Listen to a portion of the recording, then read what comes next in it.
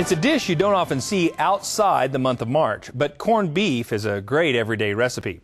And joining me in the studio is Chef Genoa French from the checkoff funded Beef Culinary Innovation Center at the National Cattlemen's Beef Association. Thanks again for coming and sharing this recipe. I have to tell you, Ochsner is not exactly an Irish name, but I am interested when you when you put corned beef and cabbage together. So tell us what you have. Well, today uh, the recipe is slow cooked corned beef with a red currant mustard sauce. Hmm. So this recipe is um, ideal for those that want to start it in the morning, go away to work, and then come back. I know St. Patrick's Day this year is, is on a weekend, so that's not as necessary a problem. Sure. But um, if you want to do this on the stove, you can. It takes a little bit less time. Okay. So what we're going to do is we're going to start here with crock pot. Yep. Um, and go ahead and load all our ingredients into this and set the timer and walk away. Um, we're going to start with two medium-sized onions. You don't need to cut them real small, just quarter of them. They're giving us flavor, so that's kind of their purpose. Okay. And then three stalks of celery. Very good. So we're going to dump this in here In the bottom, that's in the bottom. That kind of gives you the base, so nothing burns down there as well. Okay. Um, the next thing we're going to take about two, two and a half pound brisket, depending on how much you need for your family. Mm-hmm. One trick is make sure that it fits in your crock pot. the bigger you get, the bigger crock pot you're going to need. Correct. So um, this will come corned already. It's, it's brisket that's corned. It'll come in a package. Yep. Usually has um, a pickling seasoning Sure. with it. The- the package yeah, if it doesn't have one, you'll need to just get some in the grocery aisle. Okay. So I'm going to go ahead and throw this inside. Yeah. Just right on top. Yep, just right on top. I'm going to stick it in there. Okay. Um, Then your dump seasoning? your seasoning on top. Very good.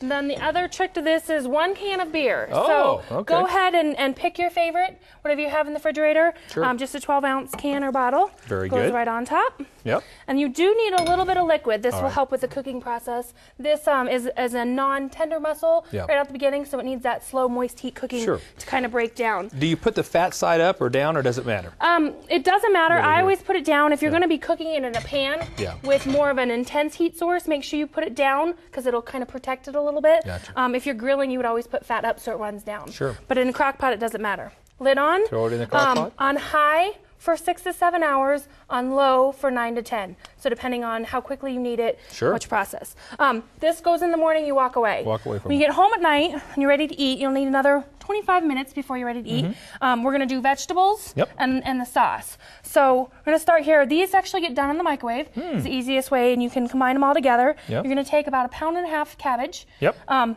more if you like it, a little less if you don't. And green cabbage, don't use the red. Right. Um, red new potatoes. Yep.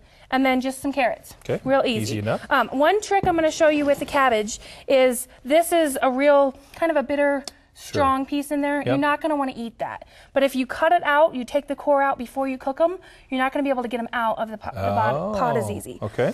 So what I recommend is that you cut them and leave this in. Huh. Um, And it take- helps It helps hold them together. hold the leaves together. Hmm. And then once they're all cooked, you can pull them out and then just slice this out real quick. is an interesting So make sure that you um, cut your cabbage down Mm-hmm. enough so that it cooks consistently.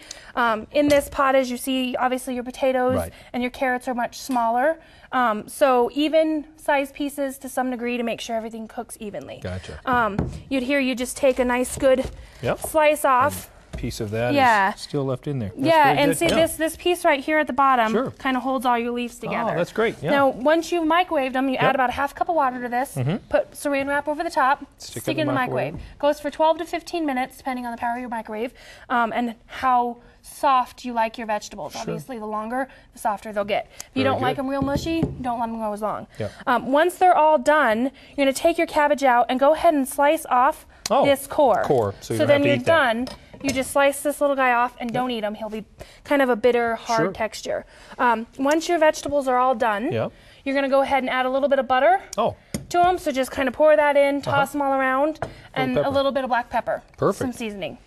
that's So, that's easy enough. that's and so, what do we have here? Jelly? So this is this is our, our red currant jelly. Really? Um, you can find red currant um, jelly. It kind of looks like strawberry or anything else, but it'll have a different flavor. Hmm. Interesting. Um, in the jelly aisle, and you take a whole jar of it. Mm -hmm. And again, this is something that's done in the microwave, and this is done right at the end. Okay. Um, you're getting ready to sit down. It's Yep. a quick process. You microwave it, and this has kind of been sitting just a minute, but microwave it so that it gets soft Okay. And loose. Um, Not quite pancake syrup consistency, Yeah, but but, kind of like that. Yeah. Okay. Because what happens is you'll take your jelly that's warm and you'll mix in three tablespoons of Dijon mustard. Really? So go ahead and, and that gives that little bit of corned beef and cabbage mustard Wow. flavor.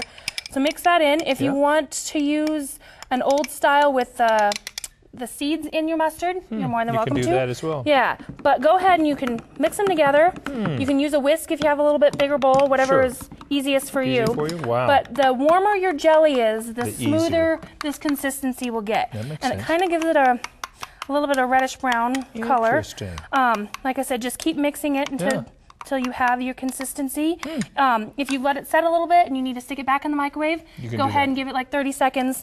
Whisk it. Um, make sure as you take these dishes out of the microwave, they will be very hot. Yeah. So just just be careful, careful about that. about we don't yeah. think about necessarily in the microwave. Um, and then go ahead and slice Wow. up your your corned beef.